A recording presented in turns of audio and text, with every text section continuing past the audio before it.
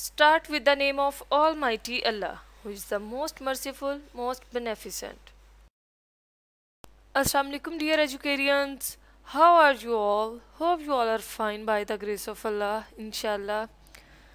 Dear students, as you know this is our fourth lesson of science and we had started unit number 4 natural resources and in previous lesson we discussed about changes in our environment and endangered animals in Pakistan. In today's lesson we are going to solve our exercise. I hope you all are excited for this lesson. So let's start. The material required for this lesson is pencil, eraser, highlighter and science textbook. I hope you all collected all these things and you are ready for this lesson. Firstly, we are going to revise our previous lesson. In our previous lesson, we discussed about changes in our environment. There are many people living on our planet, but there is a limited amount of natural resources for all living things. It is up to us to take care of our environment and make sure we are not wasting our precious resources. After that, we will learn about endangered animals of Pakistan. When trees are cut down for use as firewood or timber, we also lose the wildlife which lives there. Some of the endangered species of Pakistan include markhor, mountain weasel, Asian black bear, Balochistan forest dormouse, black finless porpoise, European otter, vole and Indus River dolphin. Here is the content of our today's lesson. As you know, we had started unit number 4, Natural Resources, and today we are going to solve exercise from textbook page number 39 till 42. So let's start. The learning objectives of our today's lesson are after today's lesson you will be able to do brain teaser you will be able to discuss word to learn and concept map by the end of the lesson, you will be able to solve exercise that are at the end of our unit. Now we are going to start our today's lesson. So open your science textbook from page number 39, write day, date and today's task. I hope you all collected all the things that we needed for this lesson. So let's begin.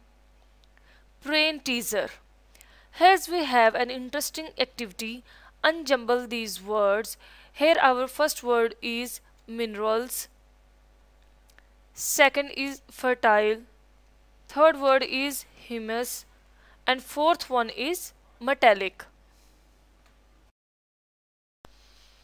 Here's our next topic is words to learn. These words are here to develop students' science vocabulary and our first word is fertile.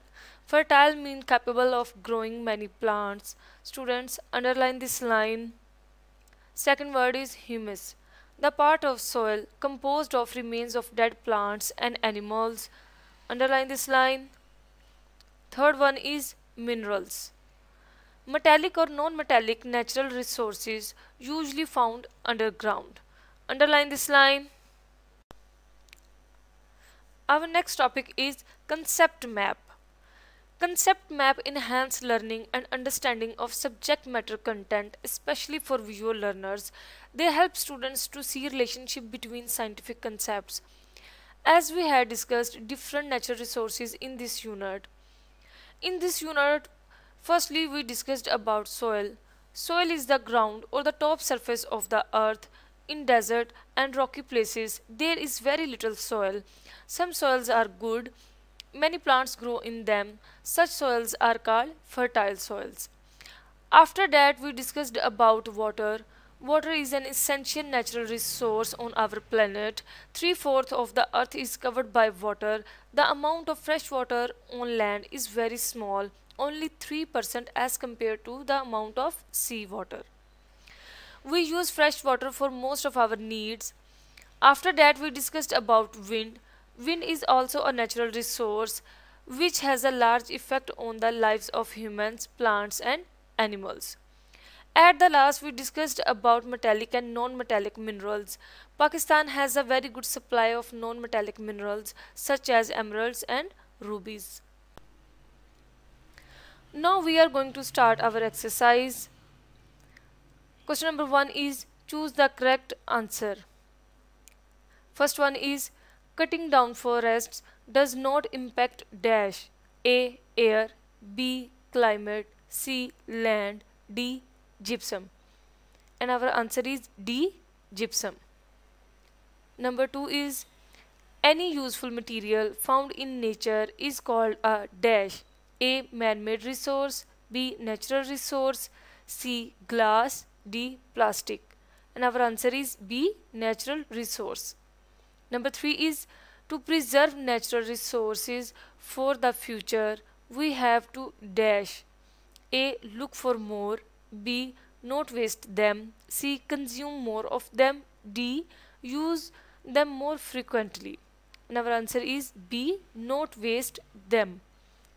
Number 4 is an example of an endangered animal is dash A. Cat B. Dog C. Cow D. Forest dormouse and our answer is D. Forest dormouse. Number 5 is what kind of natural resource do you use when you fly a kite? A. Water B. Air C. Plants D. Animals and our answer is B. Air.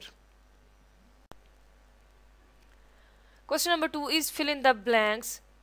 First one is the remains of dead plants and animals in the soil are called humus.